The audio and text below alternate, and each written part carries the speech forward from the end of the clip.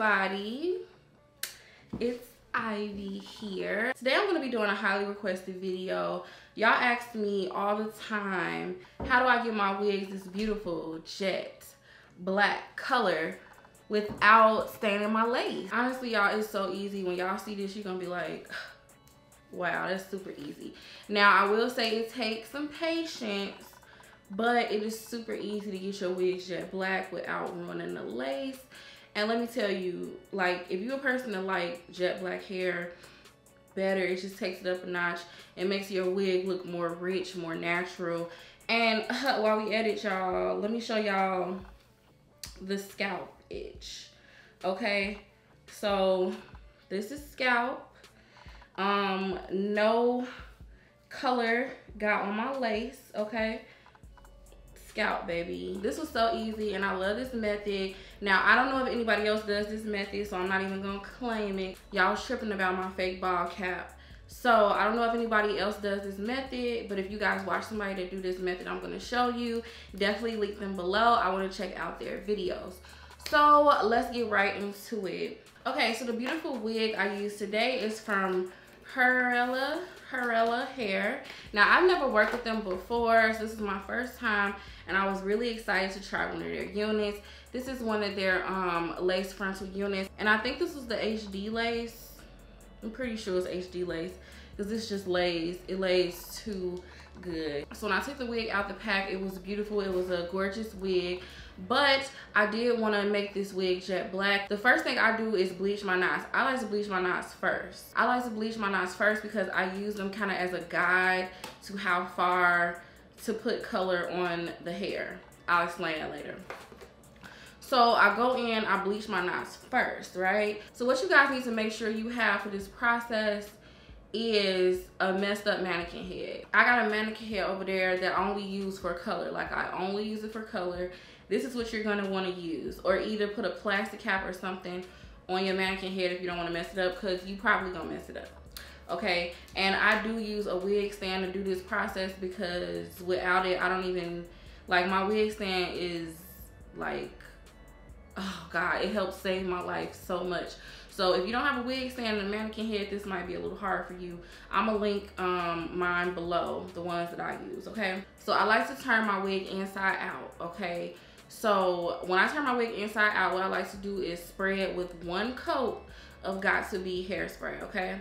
I let that air dry and then I take this um, hair protectant. You can get this at your local beauty supply store. They got it in clear and I got it in brown. And what this is, is like a, um, a gel and you paint that on your hair and this is supposed to protect your hair from um, hair glue, right? So then I like to use that hair protectant and I only paint a layer of that around like about an inch around the hairline. I don't take it all the way back because there's no need to do that. You're gonna like over, you're gonna put too many products in your wig and it's gonna make it gunky. So I only like to use about an inch from the hairline, an inch back.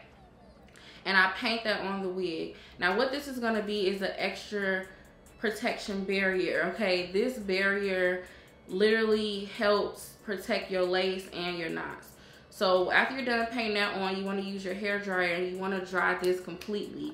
I'm not going to stress that enough. Dry it completely, dry it completely. Once it's done drying, I want you to turn your wig back over, okay?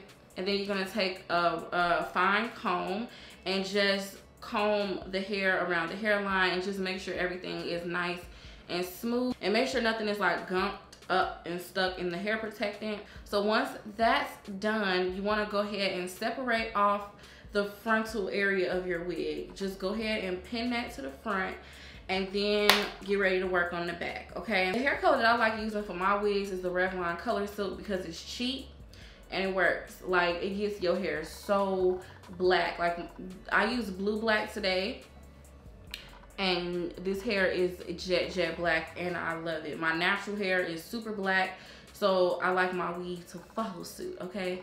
So what I did was go ahead and paint the color all over the back of the hair and I didn't put this in any sections. I just literally squirted it on there and use my fingers to rake the color through. Like that's literally all I did. um, rake it through, rake it through, rake it through until it was nice and saturated. I used um, one bottle of color on the back portion of the hair. Now this hair was, um, I believe it was 24 or 26 inches. And this wig, um, it's a nice density. It's not super overly thick. It's just a nice full density. And I only used two boxes of color to complete the entire head and I actually had color left over. Once I was done doing the back, I am gonna show you guys how to color this frontal without messing up the lace. So what you wanna do is part off a small section and we're gonna apply the hair color to the shaft of the hair. I like to run that down the hair and then I like to apply a little bit of color, use my coloring brush and just smooth that on the roots of the hair okay? You don't want to take the color all the way up to the root because then it's going to get on your knots and mess up your knots and all that type of stuff. So you want to keep it a little bit away from the root, but not too far, but just a little bit away. You guys will see exactly what I'm doing in the video. And you just want to continue to repeat this process until you complete your whole frontal. But I like this method more. Even though it takes more time, I feel like your color comes out just looking so rich and you guys, it looks amazing.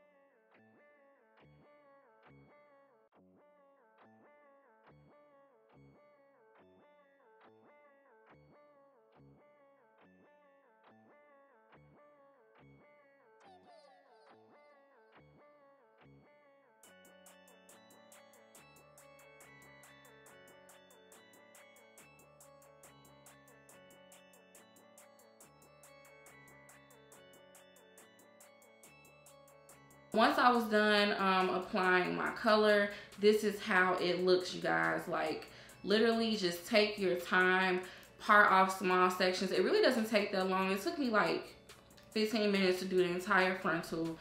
I just play some music and vibe out and color my hair. And I let this process for about 15 minutes and then I wash and condition the hair. And this is how it came out. As you guys can see, it's flawless period. It ain't no black on lace.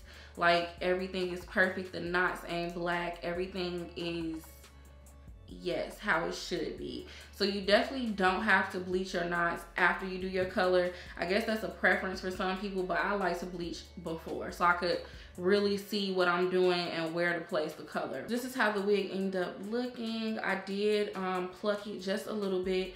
Their wigs do come pre-plucked so you don't really have to pluck them i just plucked it because i don't know y'all i got like a little forehead and my stuff had to be plucked good or it's really gonna look wiggy and um, the quality of the hair is very very nice y'all. I'm not getting no tangles. It's just nice and smooth. Like nice and smooth and i really love it so i'm excited to show you guys how i went ahead and installed it so let's get right to that so i am done coloring my wig and this is the end results this is how the hair looks after it's been um, washed and air dry. So it does still have like this like loose slight type of wave to it. As you guys can see, I, I did pluck, I did go in and pluck it just a little bit around the edges. But as you guys can see, my lace is not stained.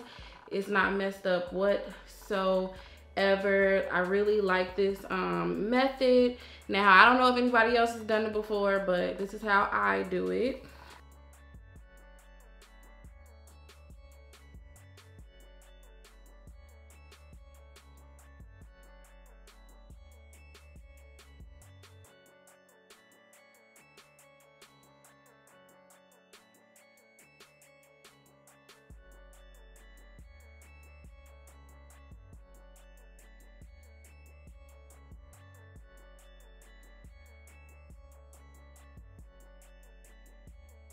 Okay, so I'm gonna go ahead and um, adjust my wig. So this is how it looks once I adjust my wig to my liking. I like my wig to fit nice and snug, so I put it on the last latch And I am to cut off this lace right here. I am going to be using my liquid gold today. I'm not to be uh, gluing this down with any glue. And I swear, you guys, my head has swelled. or, I don't know what's going on, but my head, child, all my wigs feel tight. but okay, you guys, my wig is on. And it is a perfect fit. I just had to play with it a little bit just to get it um lined up. I'm really loving this lace tint. I feel like it tints the lace to the perfect color. It's not too light or too dark. You guys, I'm really loving this wig. Oh my God, I love it so much. I like the lace. I like how it lays.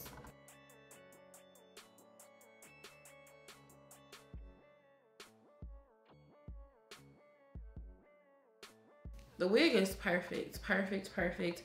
I'm gonna cut a little bit more the lace right here. Just like a little bit.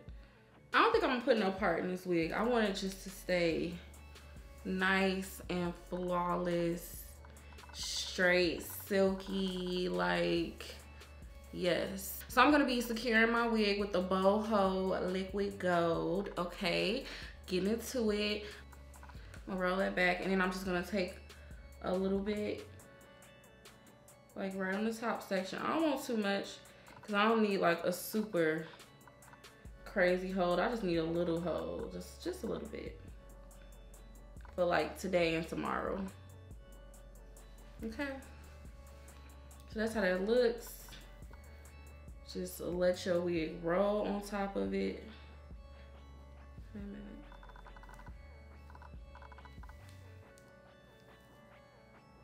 A little bit more right here.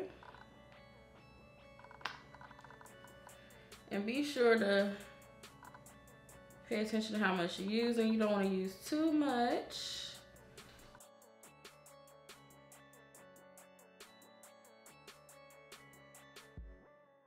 This stuff literally melts your wig. Like, that's melted. Melted. Other side. Remember, don't use too much. That's enough. And spread it. Lay it down.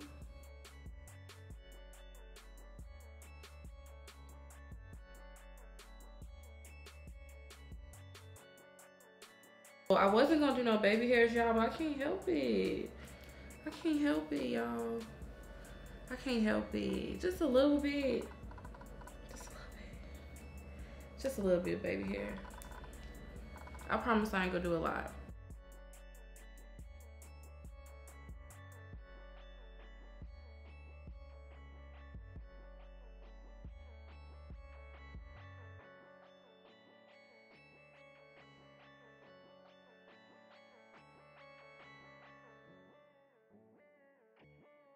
Okay, y'all, so I did a little different baby hairstyle.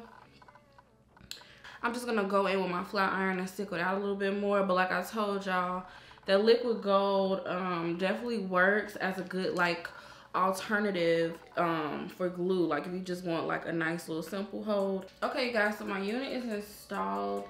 And y'all, I love this wig a lot. It fits very well. It feels good. Um, the knots perfect. Like y'all that's perfect right? Let me show you again.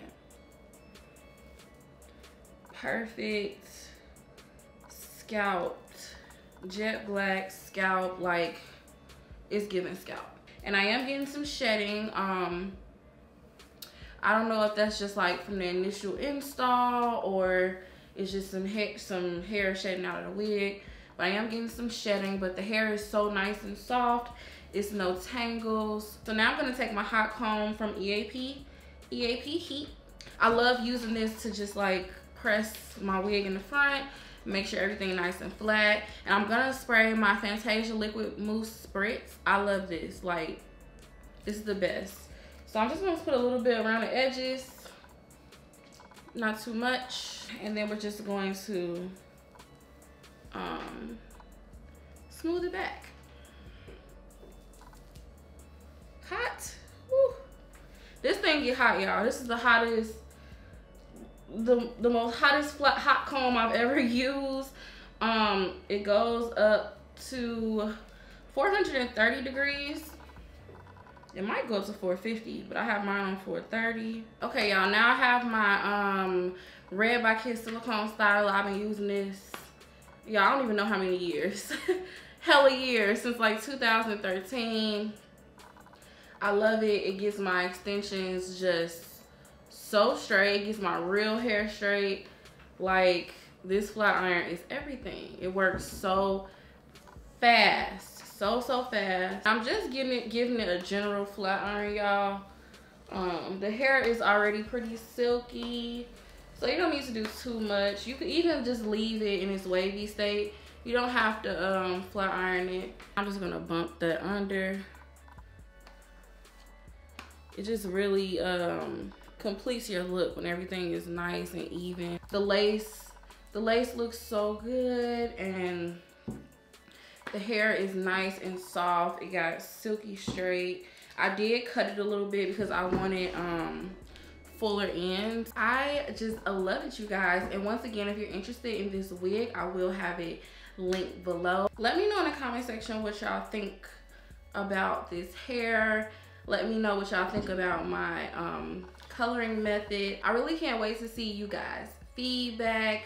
Thanks again for watching. Please don't forget to thumb this up. Make sure you subscribe, comment below, and click that bell icon so you're notified every time I post a video. And I will talk to you guys in the next one.